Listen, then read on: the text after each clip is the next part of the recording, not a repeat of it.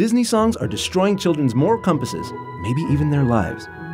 Hey everyone, I'm Leo Camacho, and maybe that intro was a bit over exaggerated. But Disney is powerful, and children are impressionable and vulnerable. For example, and be honest, did you ever try snapping your fingers to make your room clean itself? Maybe try talking to some birds and squirrels? Or look under a rock at the grubs and thought, Oh well, Hakuna Matata. Disney songs aren't just incredibly catchy, they're influential. So, as a kid, when your room doesn't clean itself, it's no big deal. But eating grubs? That could actually be dangerous and possibly even deadly. Slimy, yet satisfying. But what we're interested in here is the presentation of perspective, ideological and philosophical messages that shape worldview, that may have shaped your worldview even. In fact, some of our favorite songs mean the exact opposite of what the entire movie is about, and it's easy to forget that. Exhibit A, the bad guy song. Disney makes it so easy to parse the lyrics of their villain songs, and most would agree that seeing a five year old strolling down the street while belting out poor unfortunate souls well, might be a little unusual.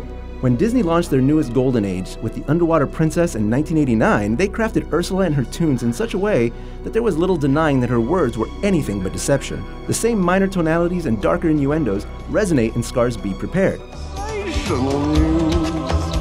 And Disney is consistent here. Look at the most recent Disney tunes. In Tamatoa's Shiny, there's little room for subtlety. Did your granny say, listen to your heart? Be who you are on the inside. She did. I need three words to tear her argument apart. Your granny lied. But no, she didn't. And once again, this adversary's lyrics are contextualized in his direct combat with our hero. Shiny is a song about vanity, and Moana is grappling with the idea of inner self versus outer self. Look at Maui's tattoos, or Te Fiti's ultimate transformation. The film knows exactly where Shiny belongs in its overall design, but taken out of context, it's just a song about bling. But what about when the protagonist's ally sings a memorable song? Exhibit B, the Don't Worry, Be Happy song. The first from arguably the greatest Disney film of all time, Hakuna Matata. The song's meaning is pretty clear. You might even call it a problem free philosophy. When the world turns its back on you, you turn your back on the world. Except, of course, it's not problem free, and the movie knows it. Well, that's not what I was taught. It's essential to the design of the narrative. Simba just witnessed his father's premature death at the hands of his uncle Scar, who, by the way, makes Simba feel responsible for all of it. That's pretty heavy. So what do you do? Hakuna Matata. You run away, try to escape your problem, and join up with a talking boar and a meerkat? Yeah, alright. Escaping overwhelming grief may be okay for a while, but it's not a long term solution for the rest of your days. The movie shows this in how Simba ultimately faces his past. than what you have become.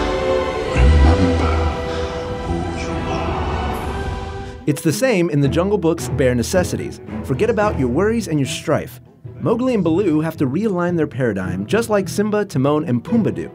Remember this? You guys have to create a diversion. What do you want me to do? Dress and drag and do the hula?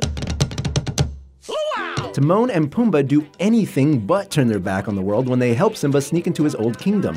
And here in the Jungle Book, Baloo doesn't just try to relax once he has someone in his life that he cares about. He risks it all to help rather than take it easy. This is character development 101. When the songs are this fun and with favorite characters, it's easy to forget that these songs' messages are supposed to be antithetical to the story's greater themes. Perhaps least on the nose, though, is this next example Exhibit C, the Bad Guys Don't Worry song. We have to mention Let It Go, not just because it's arguably the biggest hit of all Disney songs, short of I Can Show You the World, which, by the way, is also a lie. Aladdin is still pretending to be a prince at this point in the movie. It's Disney's musical version of Aladdin fluffing his Tinder profile. Uh, anyway, I digress. Let It Go is more complex than the other examples because rather than have some friendly animals try to convince Elsa of a newfound philosophy, she's trying to convince herself and seems to be going back and forth. She's hiding herself, then lets it go, but then slams the door, effectively hiding herself again. Back and forth and back and forth until the very end, the last line before the chorus reprisal.